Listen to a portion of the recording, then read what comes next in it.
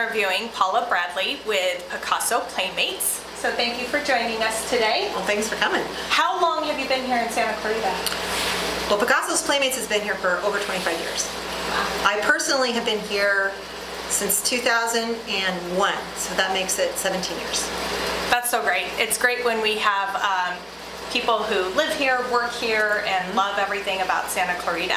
Um, of course, you have an art studio here in Newhall. Yep. And tell us a little bit about what you do here at the studio. Well, we're kind of a full service art studio. So we start our day in the morning with Mommy and Me classes, Oh, how which fun. is open-ended art classes, all experiential, ages two to five. There's no right or wrong way to do anything. So it's make a mess, have a good time. I clean it up. It's not on your carpet. And the kids really love it here. They know that when they come here, they're my littles and they come in and we play and we make a big mess and they don't get in trouble for making a big mess. And then um, we get to look at the choo-choo train and wash our hands in a bucket of soapy water. So it's totally fun. Then um, in the afternoon, we teach drawing and painting to school age kids. So we teach them the basics of fine art. We teach them how to draw, how to hold the pencil, how to use the color, how to use their imagination. We open up and often I have to get them kind of loose by saying, okay, did you bring your imagination in your pocket? Can you take it out? Let's put it on. What do we, and we teach technical drawing. So it's a directed art class. But then, once they get their drawing right, then we say, okay, now where is this if they're drawing a cat? Where is this cat? Is it in outer space? Is he on a surfboard? Where is this cat? And they get to use their imagination and create that scenery. So that basically starts off pretty easy and then goes all the way through drawing what you see into realism. And they te- we teach all media and they start at five and they go all the way to college. So some people are from here, from their two, from when they're two to college. They- Which is so Which great. is really awesome. And they go to some really good colleges too. So then in the evenings, we have our teen and adult program. So the teens and the adults go together because adults will pay for their kids to come before they'll pay for themselves to come. Yeah. But then once once the kids are all grown and they're retired, then they're like, oh, well, I kind of really want to do this, but I don't know how. And so I kind of take them step by step, same way I would the kids, but older, and um, teach them too. So we do all ages and all in all media. So we start with pastels. We do pastels, watercolors, markers, colored pencil, oil pastels, oil painting, charcoal, everything. We do it all. All of it. Yeah. Well, and I have to say from experience, so obviously you have that child at at heart uh, moments and as I came in today, all of the littles, they all went running out and blowing kisses and giving big hugs, which is fabulous. And my daughter Kaylee has come to you since she was about five or six. Six, And yeah. Mm-hmm. Six years old. And She um, still hugs me when she leaves every night. she does, and and you know it's something that uh, the kids have. They look forward to it. She looks forward to it, and you know at six years old, you don't really know what direction they're going to go with anything, and you've done such a wonderful job of bringing out their talent and their passion and what they end up finding a direction in, which has been um, just uh, wonderful. It's been wonderful as a parent to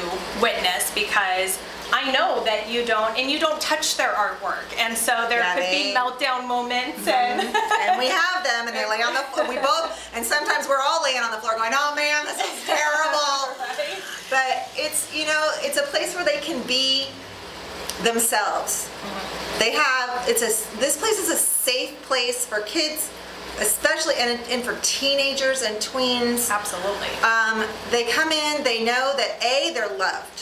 First off, I'm, cons- I'm concerned with their whole being. I want to make sure that when they come into my classroom, they're well fed, they're, they're feeling okay, they had an okay day. And if they didn't, let's talk about it, let's get it out, let's, or if you can't, do something that's going to make you happy. Right. Okay, we are going to do something that works through that unhappiness and brings you back into a sense of calm so that you can either create or be okay with the world. Yeah. And in that, you know, it's, and we have a lot of fun doing it. We will lay on the floor. We sometimes have days that we just draw whatever. Right. And, and, and that's okay, you know, it's not all about product.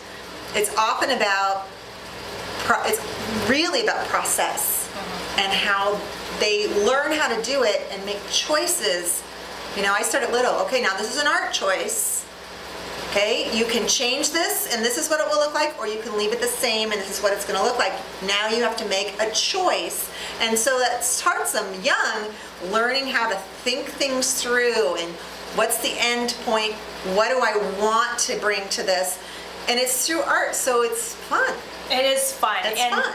And you know, the kids, even from young until they get older, there are a lot of stresses. There's Mm-hmm. stresses just being being. So Right, for them to be right. able to come to a safe place and they can simply be, and it's just such a such a stress release. The last thing I want to touch on is your summer camps because we are coming upon Coming up summer. on summer, yeah! And So the excited. summer camps are just the best. The, they're the best part ever. I look forward to the They're Friday field trip. So, So much fun. We start planning summer camp in February. yeah, and you have three of them. We have three of them. We have fantasy, which is the first one. Always the first one is fantasy, where we do an hour and a half of fine art four days in a row. That's a lot of drawing. That's a lot of things that they're processing. But their subject matter is fantasy, which means they have to take something that's either real or not real and try to put it with how do you see it? How do you picture it? How do you and so we teach all that from a foundational point of view. So they're using real shapes and things to come up with their things. And sometimes it's harry potter and sometimes it's a fairy and sometimes it's a unicorn. A lot of times it's a dragon. I don't know why that is. Um, so we do that and then we do an hour of fun art. So then we're doing we're making dragons out of Dixie cups, or we're making, you know, You made the Harry Potter Harry, books. Harry Potter, the yeah, the monster monster books, right. So that was, but that was in the Harry Potter camp. Yeah. yeah. So then we have sculpture camp. Oh yeah, and then the field trip, right? The field Right. trip, oh my gosh. So we get to go to the museum, or we get to go to the Descanso Gardens, and then they're taking what they learned in class out into the world and drawing. Yeah. And my funnest part, the best part is taking them to a museum and watching the docents freak out when I've got 15 Yeah. kids and I've got a cowboy hat on or something ridiculous and they're like, oh no. And then 15 children come in and become artists. They do. And it's And adults. amazing. Little adults. And they're sitting on the floor and they're drawing from the paintings and they're really doing it. And the docents are like, wow. And I've asked many times, have you ever seen this? And they're like, no. And there they are being real art students from a real art school. So they're having that experience. Yeah. And then the sculpture camp, we design our sculptures. So we take our fine art time and we're designing the sculptures that we're gonna make. And we do wire armatures and we do clay and we do all these different things and we do some wonky stuff too, which is totally fun.